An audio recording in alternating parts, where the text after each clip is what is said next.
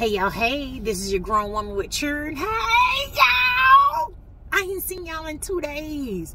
And ain't none of y'all come over to my house and knock on my door and tell me that y'all ain't seen me in two days. Let me find out y'all ain't loving me out there in these YouTube streets, huh?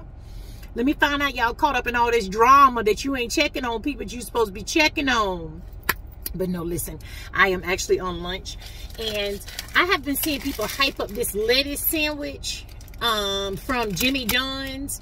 And uh, I'm finna see what the hype is about.